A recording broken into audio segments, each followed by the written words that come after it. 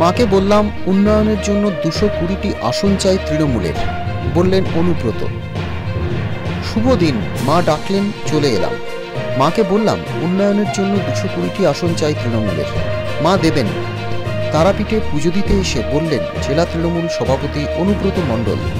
তার সঙ্গে ছিলেন জেলা সহসভাপতি অভিজিৎ সিনহা।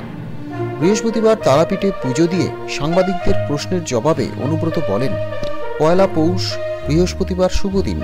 পুজো দিয়ে মায়ের কাছে প্রার্থনা করলাম সবার জন্য।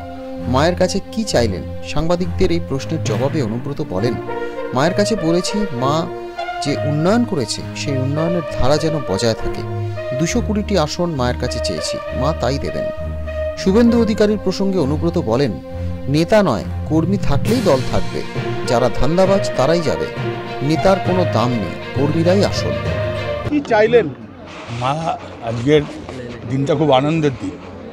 পৌষ মাস পয়লা পৌষ বৃহস্পতিবার মায়ের জন্মবার। এটা বহুদিন পর এলো।